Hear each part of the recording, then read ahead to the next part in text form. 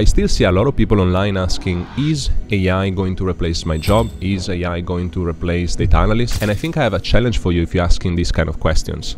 The challenge for you is why do you even care? And let me explain here. You can basically have three possible answers to the question, is AI replacing my job? The first option is yes, AI will replace your job. And so my challenge for you is, well, what are you going to do about it? Are you going to think about a new job or a new skill set that is not going to be replaced or impacted by AI? Well, good luck with that. And if you're thinking, well, I can go for some manual work that is not going to be impacted by AI, well, did you think about the mix of robotics and AI, which is also coming as well to impact manual workers? The second possible answer to that question is maybe. And again, the challenge that I have for you is if that's the answer that you get, what are you going to do about it? We have a lot of possible scenarios and options that can happen in our future, but I'm not sure that's going to help you to plan ahead. And the third possible answer is a simple no. AI will not replace your job. And what's the output of this answer? Well, you're just going to keep doing what you're doing right now. So I guess my main point here is that I don't think asking yourself if AI will replace your job is actually the right thing to do right now. I think if you're worried about AI, you should just focus on use it in the best way possible, use it to become more productive, more efficient in what you're doing instead of letting it make you